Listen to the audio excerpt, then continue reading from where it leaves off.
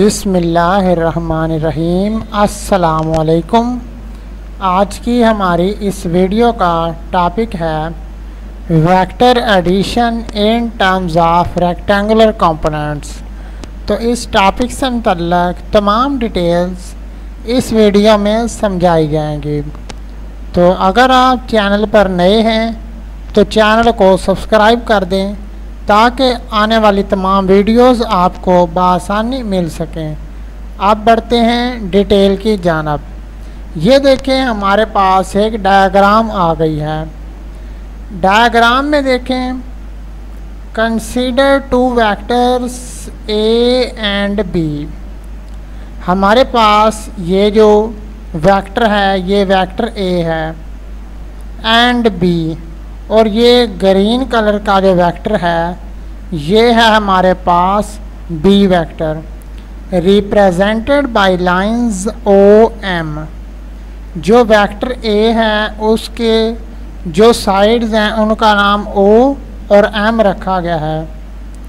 और जो बी वाला वेक्टर है, इसकी साइड्स का नाम एम पी रखा गया है। ये देखें एम पी रखा गया है।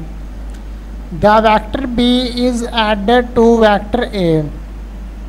हमने वैक्टर बी को और वैक्टर ए को ऐड करना है। By head to tail rule. हमने हेड टू टेल रूल को यूज़ करते हुए वैक्टर ए और वैक्टर बी इनको ऐड करना है।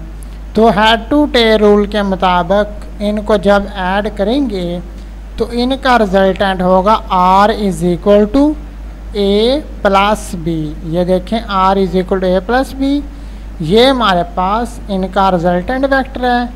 इसकी साइड्स का नाम हमने रखा ओ पी ये ओ पी से ज़ाहर हो रहा है। ये जो हमारे पास पिंक कलर की लाइन है, ये हमारे पास रिजल्टेंट वेक्टर है। अब करेंगे let A X B X and R X R the X components of the vectors vectors जो थे हमारे पास ए बी और आर थे। ए बी और आर के हमने एक्स कंपोनेंट्स बनाने हैं, जिनका नाम ए एक्स बी एक्स और आर एक्स है। ये देखें। ये जो लाइन बनी हुई है ए एक्स जिसका नाम रखा गया है, ये ए कंपोनेंट जो है, यानी जो ए वेक्टर है उसका एक्स कंपोनेंट है। इसके बाद ये जो बी एक्स वाली लाइन है, ये हमारे पास वेक्टर बी का एक्स कंपोनेंट है। इसके बाद आर एक्स ये देखें हमारे पास आर एक्स है। ये हमारे पास वेक्टर आर का एक्स कंपोनेंट है। तो देखें, हमारे पास जो ए एक्स है उसकी साइड्स का नाम है ओ क्यू ये देखें। और बी एक्स की साइड्स का नाम है एम एस और आर एक्स की जो साइड्स का नाम है ओ आर अब जैसा कि हम जानते हैं कि आर हमारे पास ए प्लस बी के बराबर है तो आर के एक्स कंपोनेंट का नाम है ओ आर तो यहाँ हम लिखेंगे ओ आर इसके बाद ए ए का जो एक्स कंपोनेंट है, उसकी साइड्स का नाम है ओ क्यू तो हमने ओ क्यू लिख दिया। अब आगे वेक्टर बी का जो है, उस साइड का जो नाम रखा है, ये लिखा गया है एम एस अब ये देखिए एम एस और क्यू आर बराबर हैं। यहाँ पे क्यू आर मैंशन किया गया है। आगे Q R is equal to M S put कर दिया जाएगा। तो ओ आर जो है, ये आर एक्स के बराबर है। ओ क्यू हमारे पास ए एक्स के बराबर है और एम एस हमारे पास बी एक्स के बराबर है। तो ये बी एक्स के बराबर आ गया। Which means that sum of the magnitude of the X components of two vectors is equal to X component of the resultant यानी दोनों वेक्टर्स का एक्स कंपोनेंट का जो रिजल्टेंट होगा, वो आर एक्स के बराबर होगा। अब इसी तरह से जो वाई कंपोनेंट्स हैं, उसका सम जो है, इसी तरीके से हम बनाएँगे। ये देखें हमारे पास R Y is equal to A Y plus B Y जिस तरह से एक्स कंपोनेंट के बनाए थे, इस तरह से वाई कंपोनेंट्स का बना लिया। रिजल्टेंट वैक अब देखें रिजल्टेंट आ चुका है। अब इसके बाद आर एक्स और आर वाई ये रिजल्टेंट वेक्टर आर है जो उसके रेक्टेंगुलर कंपोनेंट्स हैं। आर एक्स जो है, ये अलॉन्ग एक्स एक्सिस है और आर वाई जो है, ये अलॉन्ग वाई एक्सिस है। देन वी कैन राइट फिर हम इसको किस तरह से लिख सकते हैं? जो आर जो है ये बराबर है R X I plus R Y J. I जो है एक्स एक्सिस के अलॉन्ग यूनिट वेक्टर है और जे जो है, ये हमारे पास वाई एक्सिस के लॉन्ग यूनिट वेक्टर है। आर एक्स हमारे पास सम ऑफ़ एक्स कंपोनेंट्स, इनका यानी एक्स कंपोनेंट्स का रिजल्टेंट है और आर वाई वाई कंपोनेंट का रिजल्टेंट है। अब जो आर है is equal to R X की कीमत थी A X plus B X put कर दी। और आर वाई की कीमत थी A Y plus B Y तो यहाँ हमने जो आर एक्स और आर वाई की कीमतें निकाली थी, उनको पुट कर दिया तो ये हमारे पास रिजल्टेंट की इक्वेशन बन गई। अब इससे आगे देखें कि हमारे पास मैग्नीट्यूड किस तरह से निकलेगा? मैग्नीट्यूड की इक्वेशन क्या होगी? तो हमारे पास x component A X plus B X के बराबर था और y component A Y plus B Y के बराबर था। तो इन दोनों का स्केयर लेके प्लस किया हुआ और इसके ऊपर हमारे पास जो स्केयर रूट है, इसकी अलामत आ जाएगी। जैसा कि हमारे पास फार्मूला था R square मसावी R X square plus R Y square तो उसमें अगर आर की इक्वेशन निकालेंगे तो इस तरफ़ राइट साइड पे हमारे पास जजर आ जाएगा। तो अब इसकी डायरेक्शन किस तरह से निकाल सकते हैं? डायरेक्शन जो होती है हमारे पास टेन थीटा होती है और इसको रिजल्टेंट ऑफ़ वाई एक्सिस और रिजल्टेंट ऑफ़ एक्स एक्सिस इनको डिवाइड करके हासिल होती है।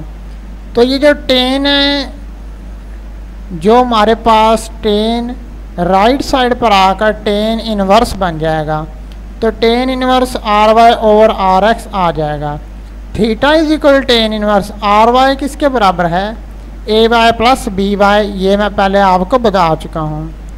Theta is equal tan inverse अब ये जो है आर वाई और आर एक्स की कीमत हमने दर्ज की तो थीटा की इक्वेशन आ गई। Theta is equal to tan inverse A Y plus B Y divide by A X plus B X ये हमारे पास मैग्नीट्यूड और डायरेक्शन की इक्वेशन बन गई। अब इसे आगे देखते हैं। For any number of coplanar vector यानी कि तादाद जो है नंबर्स में हो, काफ़ी ज़्यादा हो वेक्टर्स दो से ज़्यादा हों तो उनके लिए क्या इक्वेशन बनेगी मैग्नीट्यूड की? अब देखें, जब हमारे पास वेक्टर था ए और बी तो हमने A X plus B X लिखा था। अब अगर वेक्टर सी भी मिल जाए तो प्लस सी एक्स अब यहाँ वाई वाले में भी सी वाई फिर स्केयर लिया और जजर लिया, पहले वाला जो मैग्नीट्यूड का फार्मूला था, उसी तरीके का फार्मूला है। अब एंगल किस तरह बनेगा? Theta is equal tan inverse पहले था A Y plus B Y इसके साथ सी वाई आ जाएगा। और बटे के नीचे A X plus B X के साथ सी एक्स का भी इजाफा हो जाएगा। बाकी ये देखें मैग्नीट्यूड के अंदर भी डाट लगाए गए हैं। और डायरेक्शन के अंदर भी डाट लगाए गए हैं। तो ये इसलिए लगाए गए हैं कि जितने भी वैक्टर हों, उन वैक्टर्स के नेम लिख सकते हैं इधर। और इससे उनकी मैग्नीट्यूड को और उनके डायरेक्शन को हम शो करवा सकते हैं। अब हम डिस्कस करते हैं important steps for vector addition by rectangular components तो वेक्टर्स को हम ऐड करेंगे रेक्टेंगुलर कंपोनेंट से। इसके इम्पोर्टेंट स्टेप्स क्या हो सकते हैं? इस तरीक़ाकार को एक किस्म का रिवाइज किया जा रहा है और इसके इम्पोर्टेंट स्टेप्स के बारे में बताऊँगा। तो हमारे पास देखें फ़र्स्ट ऑफ़ ऑल हमने एक्स कंपोनेंट्स फाइंड करने हैं। एक्स कंपोनेंट्स को ऐड करना है और उनके रिजल्टेंट को आर एक्स का नाम देना है। इसके बाद वाई कंपोनेंट्स हमने फाइंड करने हैं और आर वाई को उनके रिजल्टेंट का नाम देना है। अब इससे नेक्स्ट स्टेप जो है, वो ये है कि हम मैग्नीट्यूड निकालेंगे और डायरेक्शन निकालेंगे।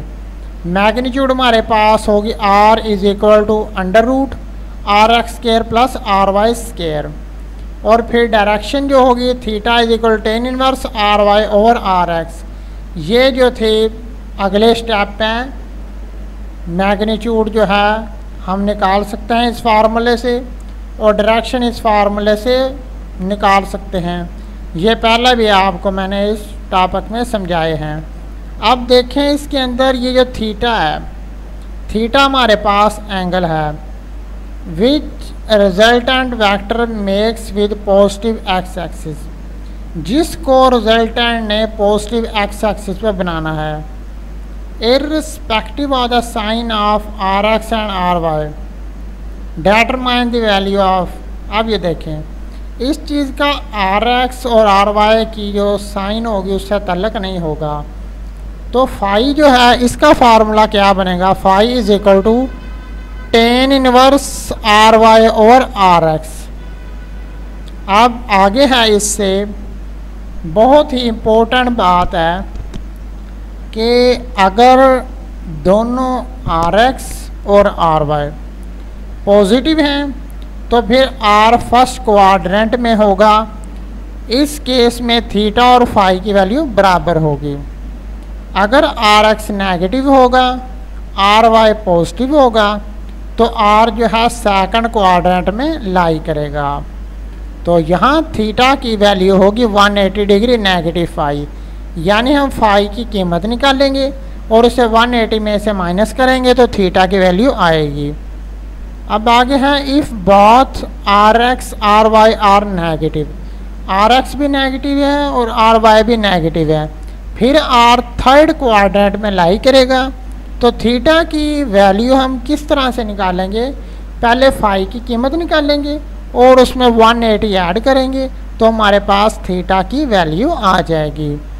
अगर आर एक्स जो है पॉजिटिव है और आर वाई नेगेटिव है, फिर आर फोर्थ क्वाड्रेंट में लाई करेगा। तो इस केस में हम थीटा की वैल्यू कैसे निकालेंगे? सबसे पहले फाई की कीमत निकालेंगे और फिर उस फाई की कीमत को 360 में से माइनस करेंगे तो हमारे पास थीटा की वैल्यू आ जाएगी। तो ये थीटा की वैल्यू निकालने के हमारे पास फोर जो थे, मेथड थे। अब देखते हैं। ये हमारा जो टॉपिक था कंप्लीट हो चुका है। उम्मीद करता हूँ आपको हर चीज़ की समझ आ गई होगी। अब आपने लेक्चर जो है, समझा है, अभी आपने इसको लेफ़्ट नहीं करना। इसको आपने देख कर रजिस्टर पर लिख के समझ कर करना है। और अगर किसी चीज़ की समझ ना आए तो आप मुझे कमेंट बॉक्स में बताएँ। और लेक्चर का तरीक़ाकार कैसा लगा, ये भी बताएँ। अब मुझे दीजिए इजाज़त शुक्रिया।